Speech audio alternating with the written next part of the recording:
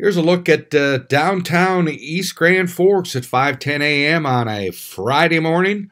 A uh, pretty good day if you got to be traveling around the area. In the inset here, that's Highway 2 just uh, east of East Grand Forks. Weather Service calling for a high of 15 degrees today on this Friday, mostly sunny, and a high of 24 on Saturday. And if you got to be traveling across uh, North Dakota or Minnesota, roads are looking pretty good in the green here. Normal driving conditions across uh, most of uh, Minnesota and North Dakota. I'm Neil Carlson reporting for iNewZ.TV.